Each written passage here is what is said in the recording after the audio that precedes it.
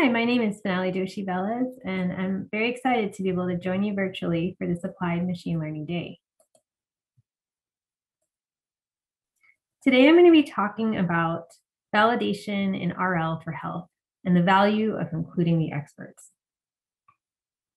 So how can RL or reinforcement learning help in healthcare? I'm going to start out with one story um, describing some of the work that we have done in our lab.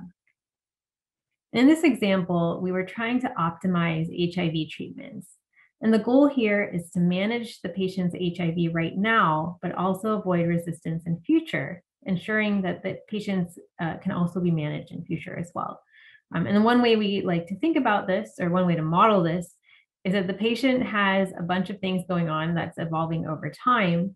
Meds are being given, and that affects the evolution, but we don't see everything that's going on in the patient. We just see some measurements that are coming out, CD4 counts, viral loads, etc right? Um, so the first question when we're given this data, because we only observe the data down here and the treatments up here, is how do we create a model? And for this particular example, we had an interesting insight. And that insight was that perhaps it's not useful to pick exactly one model. Maybe there are multiple alternatives that work better for different types of patients. And conceptually, the core insight was that many patients lie in clusters. They're lucky enough to have patients that are very similar to them. And if you're in this boat, if you have patients that are very similar to you, then perhaps they're best modeled by their neighbors, right? So if you have a twin, look at what happened to all of your twins um, for different treatment options and see which one worked best. On the other hand, if you're unlucky, you might be a patient that doesn't have any neighbors nearby. And if you are such a patient, then rather than uh, finding neighbors that are further away that may not really look like you, may be better to fall back on a parametric model of disease progression, right? Something like the picture that I drew on the previous slide. So this was a core modeling insight. And then we went ahead and we optimized this combination policy that said, should you select actions based on your neighbors or should you select actions based on the parametric model? And the selection was done on the basis of the patient statistics, but also of the cohort, right? Because we want to know whether you have nearby neighbors or not. And based on this function, we outputted some actual action, the action that we recommended. Once we had trained this uh, combination policy, we evaluated it statistically on the data set. So the particular data set that we were using was a data set of about 33,000 patients from the EuResist database and held out about 3,000 for testing. And in this particular data set, I want to also point out the large action size. Um, so there's 312 drug combinations that we treated as 312 different types of actions. And what we see here is that if you only rely on your neighbors, you do pretty well. Um, if you rely only on a parametric model, actually, it's really hard to model the disease, so you don't do as well. Um, but if you use mixtures of various kinds, right, going between these neighbors and these models, um, you can actually do significantly better than either using neighbors alone or models alone. And this was like a really cool uh, discovery, right? That um, instead of sticking to one model, here is this very simple way of combining two different models that can give you some really nice statistical results. And this idea, you know, we uh, developed it in the context of this particular project, but we've applied it to multiple places. Uh, for example, over the summer, we did some work where we transferred from the same EU cohort um, to a cohort in South Africa. And the cohort in South Africa is being measured um, much less often and contains different types, different strains of HIV. So there isn't necessarily a one to one easy transfer between patients in the EU and patients in South Africa. Um, but what we found is that if we're careful and clever about the transfer, so now what we're looking for in terms of twins, we're trying to find twins of South Africans in the EU cohort. And if you're lucky enough to have a twin in the EU cohort, then we really understand how to treat those patients well because those patients are measured very often and thus very well managed. Um, whereas if you're not lucky enough to have an actual twin, you know, your HIV is of a different type, we don't want to map you into an incorrect match. And therefore we fall back to the local data, which is less well curated. And by combining the local data and the transfer, again, we're getting significantly better statistical results. So DR stands for doubly robust, IS is for importance sampling, WIS is for weighted importance sampling. These are all statistical estimators that can be used to estimate the quality of a new policy, a proposed policy, given data that has already been collected. Another extension that we have used of this idea of combining two different types of models um, is in the context of hypotension management in the ICU. So in this case, we were looking at a cohort about 15,000 patients. And uh, we use two different ways of summarizing the patient histories, one only looking at recent information and one looking at a way to compress the entire past history until the time now. And then again, we see that MOE stands for mixtures of experts. So we combine a kernel, which you can think of as a neighbor-based policy, um, with a DQN, DQ network, which you can think of as a parametric model. If you combine these two together, you can get results that are better than either alone and significantly better than the behavior policy or what we see in the data set itself in terms of the clinician actions that are being taken. Um, so this was really exciting, right? We have these statistical ways of doing validation, and these statistical ways are suggesting that the policies that we're finding um, might actually be quite useful. And to continue to follow up on that, uh, we did some basic sanity check type plots where we looked at the difference between our recommendation and what the doctors did. So the bottom axis is the difference between our what we recommended, what the doctors did, and mortality rates. And you see it um, in both cases, in this case, hypotension management, we were looking at two types of actions, giving fluids and giving vasopressors. And you see this kind of U-shaped curve.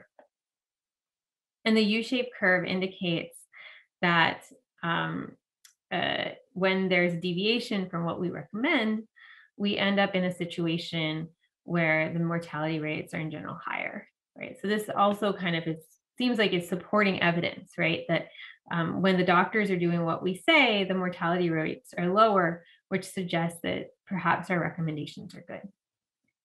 I emphasize the perhaps because in this particular case, uh, we had some awesome students who decided to plot some other policies that we'd never think of plotting before, right? We're never think of plotting. We said random actions, that's clearly not a good idea, and doing nothing, which is also not a good idea.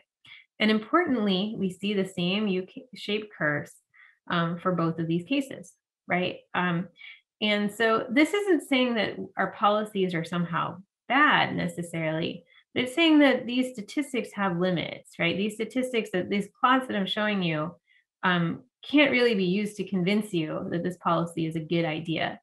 And there's lots of these limitations. All statistics will have limits. So this doubly robust estimator, this importance sampling estimator, they all have some pretty severe limitations um, that are fundamental because of just uh, you know how the data are collected. So all statistics, not just this particular statistics, are going to have limits. And so for the rest of this talk, what I really want to focus on is this emphasis on we really need to think about how we combine AIs or statistical methods with humans from the start. And to do so, I'm going to first lay out this overall picture of how I think about validation, especially in the RL space, but this is pretty broad as well. Um, so there's a class of approaches which I think of as the statistically focused approaches uh, very basic things one can do and that we do actually do. I didn't show you all of our homework is that we check for sensitivity, we check for robustness. You know, are these policies policies um, that you'll find again if you take a bootstrap of the data set, if you leave out certain variables, if you clean variables in a certain way, right? These are all really important things to think about. Um, and also off policy evaluation. So those were the doubly robust, importance sampling, et cetera, estimators, right?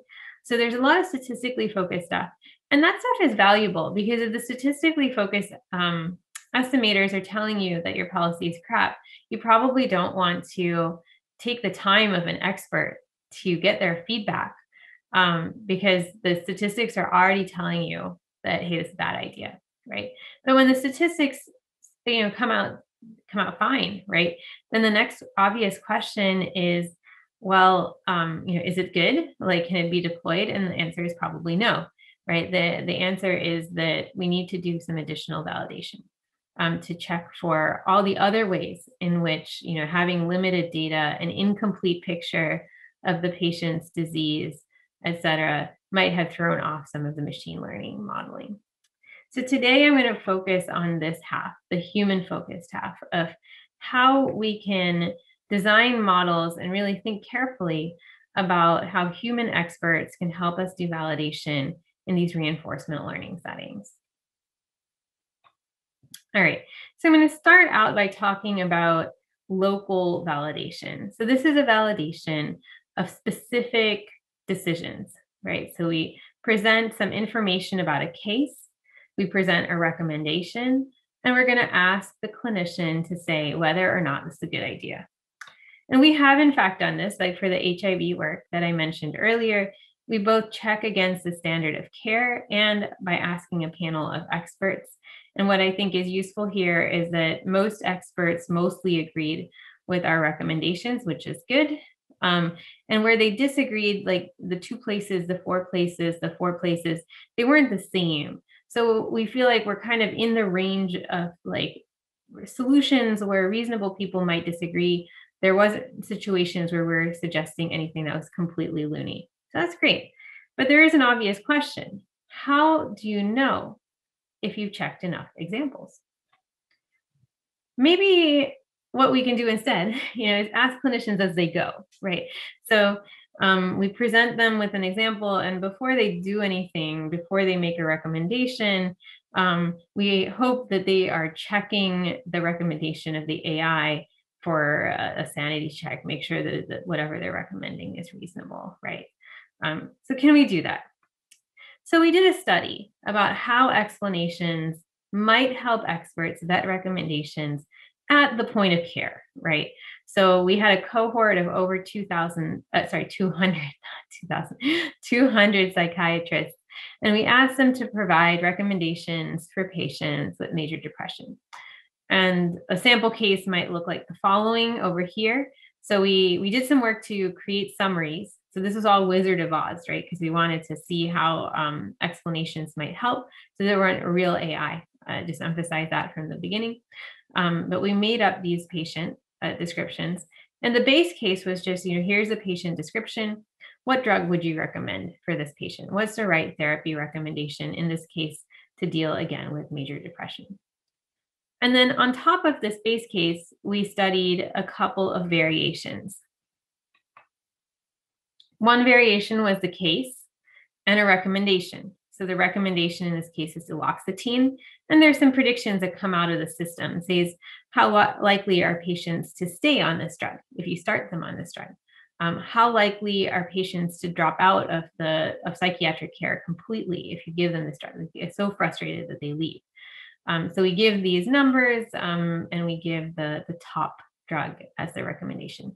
Again, I'm emphasizing that this is a local situation because there's a specific patient specific recommendation that the um, clinicians are being asked to take into account when they make their recommendation. Again, the question is what drug to give, right? Not whether this is right or not, what drug to give. Um, and that's important because we wanted to simulate what happens actually in the process of care rather than the process of you know careful model checking so the idea here is that well if we can't check every single case hopefully um, people will notice if something's funny, right? While they're doing it, just ignore it. We also provided some uh, recommendations with explanations. So in this case, we have the case, we have the recommendation, we have the why or the explanation in the form of features. Um, so here, um, here are the top features um, that result in this particular recommendation.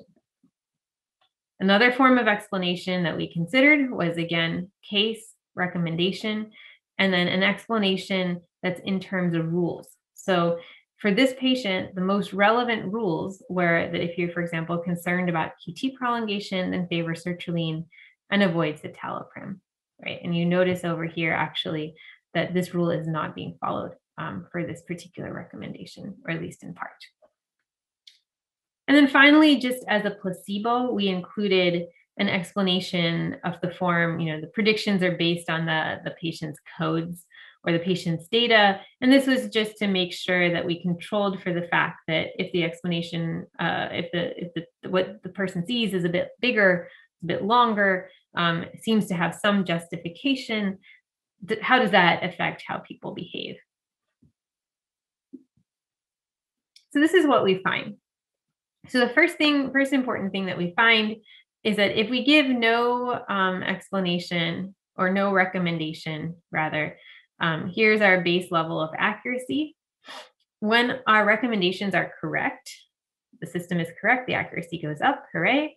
Um, but when the system recommendations are incorrect, the accuracy goes down. So this means that locally in the moment, um, clinicians aren't able to um, or aren't for whatever reason are not picking up on the fact that you know there was an incorrect recommendation. They're going with the bad recommendation thus decreasing in accuracy.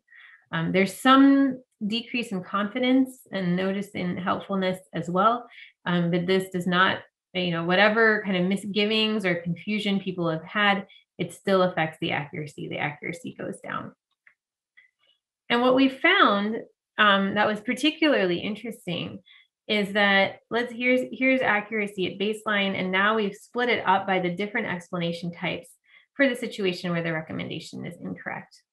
And what we find is that the quality um, uh, with the expert rules goes down some but goes down a lot more um, with the feature based um, and the feature based one we remember was like because of diabetes or something like this versus this one was the example with the if they have QT prolongation, then favor this drug, rather not do this drug, right? It was much longer.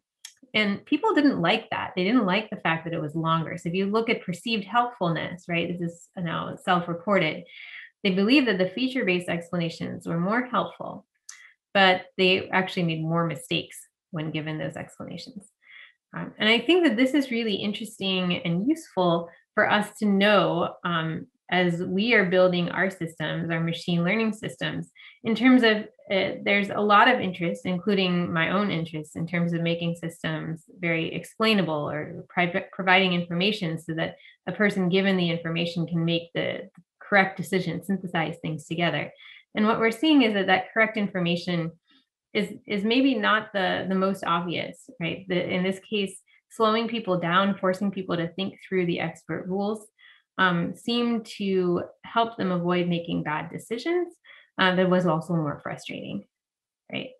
Um, and so maybe this also suggests that like expecting people to do checks at the bedside is not ideal. So another study that I'm not presenting here, um, we shared this sort of system with a group of primary care docs, and this time instead of a quiz, it was an interview format. And one thing they expressed is, well, if the system is wrong, why like why are you giving us potentially wrong explanations while we're seeing a patient? Right? This is a, this is a wrong time for us to be vetting a system. So that pushes up, pushes us over to say that okay maybe we want to check a particular decision um, but especially in the health setting checking a specific decision for a specific case from an ai um, is a kind of tricky idea, right? Like uh, many times, if the pa- person is in the process of seeing their patient, they don't necessarily want to do this. And if they're in the mode of just trying to provide a, a good recommendation for their patient, they might, if their AI system is available, they're more likely to over rely on it than actually make a good decision based off of it right? So maybe we need to do a bit of homework first, which is perhaps obvious, right? Um, before putting a system out there, we shouldn't put the onus of the people uh, of the correctness and the validation at the people on the front lines. Um, we really should do our checking first, as much as possible, just like we did our statistically focused work um, before moving on to our human focused work.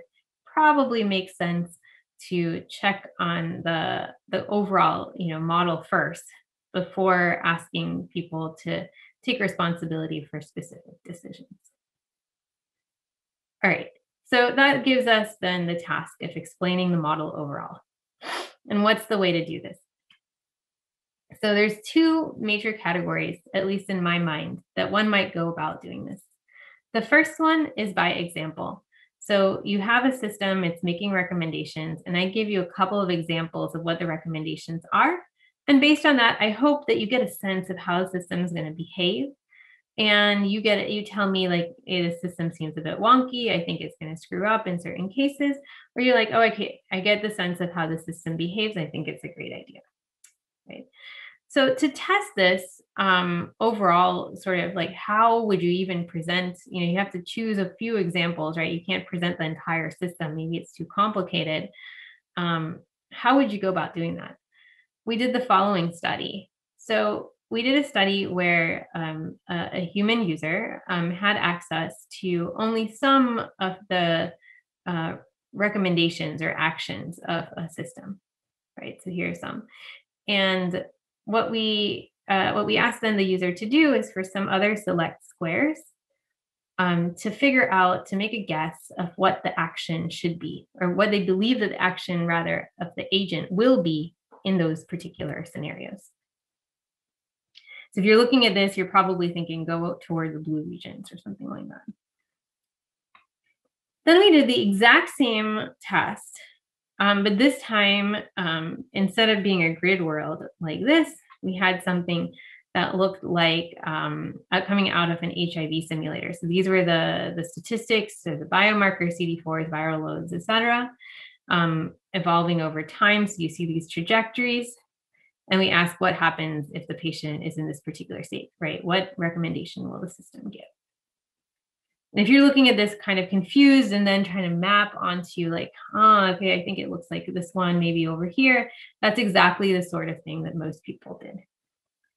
And what we found um, is that depending on the scenario, whether it was a grid world or the HIV case, um, people in their subjective descriptions um, seem to be using different methods. So IL stands for imitation learning. So just copying, like trying to find a match, right? Like the, this guy seems to be like this one over here, right? That's the process of finding a match. Um, and IRL is inverse reinforcement learning. So believing there's a goal, like go to the blue squares. Um, so humans use different methods in different scenarios, right? That was one thing we found. And the other thing we found is that it doesn't quite, it's important to account for, and it doesn't quite correspond to what, or actually very much doesn't correspond to like the perfect IL. So if the humans were the perfect IL, this would have been their um, prediction accuracy. If humans had been the perfect IRL, um, they would have reached this level of accuracy. You can see the human performance is quite uh, below that. It's better than random, but it's it's quite below um, these thresholds. And what that suggests to us is that unless we really know how people extrapolate, and this, these studies suggest that that's hard, um, presenting examples as a way of getting humans to do validation might be risky. And here we were trying to be clever, right? We presented examples such that the perfect IL learner would be able to learn the system. We presented examples such that the perfect IRL or inverse reinforcement learner would be able to learn the system. But humans are neither perfect imitation learners nor perfect inverse reinforcement learners. And so, even if we did this clever step of trying to provide the most informative examples of trajectories, um, humans still extrapolated in ways that we did not expect. All right, so that leads me to the last part of the talk, um, where I really want to go into a little more detail, which is well, if we can't summarize by example and we need humans to do the validation, then we got to make the model simple, right? In one way or another, people are going to need to be able to look at these models. And that has been a big effort in my lab where we have been trying to create not these ginormous expressive models anymore, but small models that do a good job and are small enough for people to actually take a look at. And the core idea here is that we want a generative model, right? We believe that the diseases create the data so a mixture model um, is, is one of these, a topic model, whether, uh, you know, partially observable Markov decision process, that was the HIV model.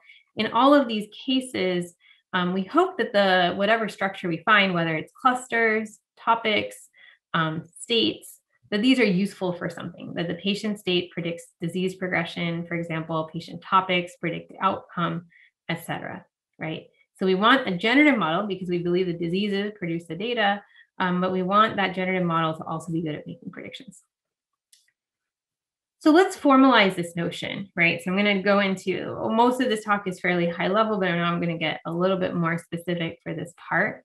Um, here's the idea: there are some patient conditions, um, and these patient conditions produce some data um, in, in consort with some parameters that are out there. Now, in reality, um, what's going to happen is there's going to be a lot of patient data. Um, so in our psychiatry applications, we have thousands of dimensions here. Um, in our critical care um, and HIV applications, we have tens of dimensions here, um, tens to hundreds. So these are these are pretty big. And, and if the outcome is relatively small, like treatment worked or um, you know, the viral load or something like this, then there's a tension um, where you know this model believes that these things are symmetric. So you know, why is a mistake here any worse than making a mistake and say this one over here, right? And so what one thing that people have done is that they've just replicated the number of dimensions of the outcome. So just make a copy, right? Um, if one is too few, then make it like a thousand. Now these are both a thousand. Um, and I'm not going to go into it in detail here, but you can see our papers. Um, but we've shown that this idea of label replication, A, does not work, um, and B, that many previous approaches to solving this problem have been things that reduce to label replication. Right. So many previous approaches to kind of fix this actually don't fix the problem. So our solution has been what we call this task constrained objective. So we want to explain the data the best we can, right? We want a good generative model, explain the x's, um, subject to the constraint that the predictions from x to y um, are of sufficient quality, right? Um, so the predictions have to be good from x to y. That's our, our goal. Um, and then um, as long as the predictions are good enough, make the generative model as good as you can. So very intuitive, but it is different, fundamentally different than label replication. And I can show you here with just a couple of equations. So label replication um, in, enhances the link between the hidden condition and the outcome y. So remember, theta is the condition and the outcome is y. Um, whereas the prediction constrained objective that I showed on the previous slide um, uh, emphasizes or, or plays up this process of going from X to Y, right? This lambda is sitting outside this integral over possible patient conditions.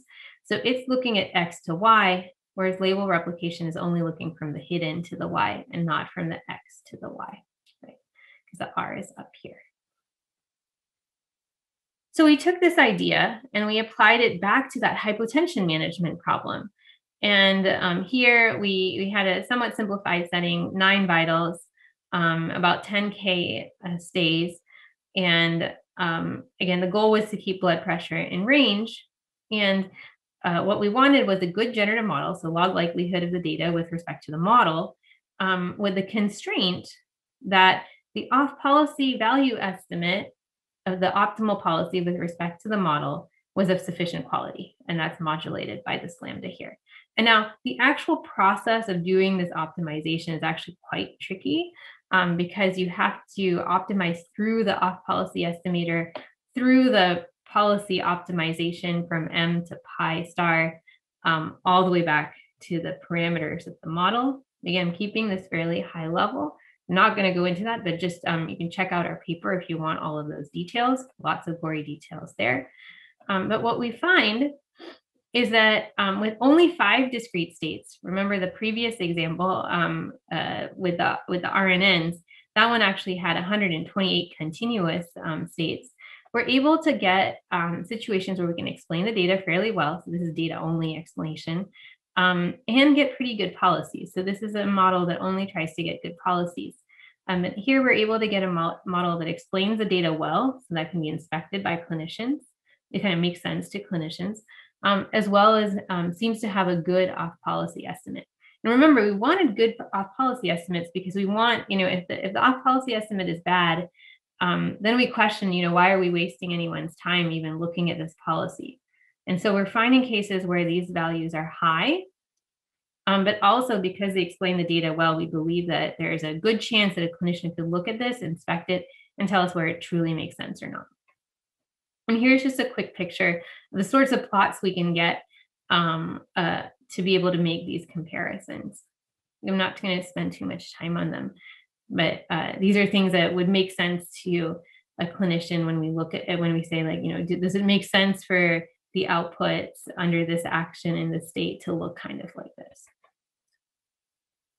So that was from uh, distributions over uh, what 128 variables to distributions over five states, a five state POMDP. Um, I'm really excited about this work because we get it down even smaller. And the key insight that now we are taking advantage of is that in the in the health setting, in the batch reinforcement learning setting, we can really only make recommendations in settings where clinicians disagree. So if we have these trajectories where the different colors represent different states, just as cartoons, um, if we have situations where um, actions, uh, like in red state, sometimes it's action one, sometimes it's action two. Well, in those situations, um, you know, maybe we as uh, machine learning people, we can recommend which of these was the better choice. In this light blue state, only action one is ever taken. There's no information for us to create a better recommendation. Um, so we have two states to optimize, and so we build this tiny two-state MDP because the only places where clinicians agree are in the red and yellow, right? So we can collapse everything else and basically create a tiny model with just those two cases, right? So that's a cartoon. We did this actually, and what we find is that they, there's 14 clusters in this particular data set. Um, and the beauty of this is that we, we, we um, reduce the number of actions down to doing nothing, giving fluids, giving vasopressors, giving flu- fluids and vasopressors. And the beauty of this is I can show you on a one slide four different policies, right? um, which says that in this state, um, you know, we recommend giving fluids if we have a policy that um, emphasizes the importance of the terminal rewards or survival at the end of stay. Um, we have this piecewise policy, which focuses on the actual blood pressure measurement, gives us something different. Mm, okay, I don't know that that makes us maybe feel a little nervous. And say, this is another third reward function. So we can look now in terms of sensitivity, we can see situations where different choices of reward produce different policies and how it compares to clinician behavior over here, right? And this is just so exciting because on one slide, again, I'm showing you three different options um, for people to be able to think about. And we pair that with um, figures like this that say for each of these decision regions, these 14 clusters, um, what was the you know average MAP value, the average lactate, et cetera. So with these two pictures, people are able to take a close look and validate whether these recommendations make sense or whether something happened in terms of like a confounder that was um, not modeled properly in the data. All right, so I have given you like a whirlwind tour of a lot of different ways that we've been thinking about human focused validation or how experts can help us, uh, you know, in terms of validating models that come out of RL. Um, the very last example I want to give is how we put these things together. Um, you know, can experts actually help with off policy evaluation or statistical techniques? Um, in this case, um, we want to estimate the value of a proposed treatment policy. And the idea here is that we want to expose sensitive points for humans to validate. So let's suppose we're sitting here um, at some start state. We have some trajectories like this, some trajectories like this, some trajectories that come down. And we want to evaluate the quality of this particular trajectory over here. Well, in this case, is great, right? We have tons of data um, you know, that took this particular path, and we can estimate the quality of this path. Well, if we looked into a situation like this, you know, humans can't help, right? We can just tell you that, hey, we can't evaluate this like kind of zigzag policy because there's no zigzag in the data, right? There's no way for us to know whether you can you can do this the, the, the zig and the zigzag. But what about if we had a situation that looked like this, where you know we have plenty of data here, plenty of data here, but only one example of be of hopping from the top to the bottom? Can we build an estimator out of that? Well, from a statistical perspective, eh, you know, the answer is super sensitive to that particular point. We're kind of screwed. But um, maybe a human can look at this, right? Um, maybe a human can look at this and tell us whether it makes sense. And if it makes sense, if we believe that it's representative, then we can trust our estimate. So the process of exposing these sensitive points, I've just shown you the cartoon, um, involves a bit of math. We get basically efficient ways of finding these sensitive points. Um, and it helps us in, in back to the hypotension management problem in useful ways because over here um, we have an, a, an example of a, a, trajectory where like no action is being taken until this time over here. Um, and yet the patient looks like they have a really low dip, dip in terms of their blood pressure, right? So it's going down, it's going down, it's going down. But action is taken here, it's not taken at this dip. Um, so this shows up as a very sensitive point when you're doing the validation. Um, and, and notice that we don't have time, like the clinicians don't have time to validate every single statistic and every single trajectory, right? There was like 10K trajectories, 15K trajectories in this data set um, with tens of variables. Um, but what we have done is we've highlighted it, hey, this particular one is affecting our estimate of the policy. Do you believe it? Um, in this case, um, our clinicians looked at it. They said, oh, this has to be a bad reading. Um, you know, it must be probably down here. You know, it was, it was, gradually declining, declining, declining, and this is where the action was taken. That's that's the you know the sensible story for this. Um, it absolutely does not make sense that the, blood pressure would have dipped this low, um, and no action would have been taken, or, or action is taken significantly later. So here's an example, you know, where humans again are helping with the validation because we couldn't have caught this, right? The fact we couldn't have known that there was a bad reading here. Like bad readings happen in weird ways.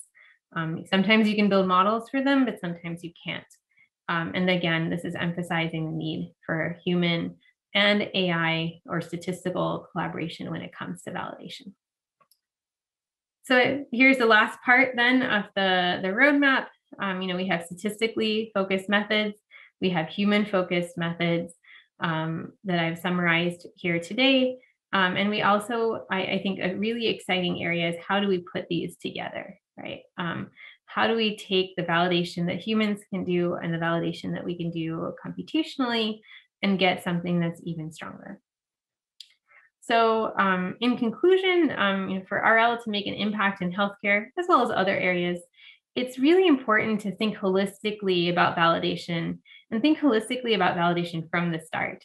Like our need for validation, you know, has driven this entire research program around making these very small models, these very small inspectable models.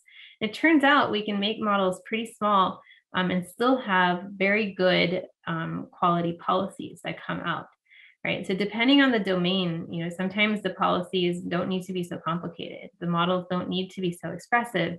But as soon as you make them smaller, they're going to be harder and harder to actually optimize and solve for. But that's exciting, right? That's exciting for us as machine learning people to try to figure out how best to do that. Um, so uh, the last thing I'd like to do in conclusion um, is to thank um, a lot of my, uh, all of my collaborators. Um, this is work um, not only with my lab, but people um, in the clinical space, people in the HCI space, people in the, the cognitive science space. Um, there's a, a, confluence of you know human experts, clinical experts, machine learning experts to make this all happen. And I'm very glad um, to be able to work with such a wonderful team.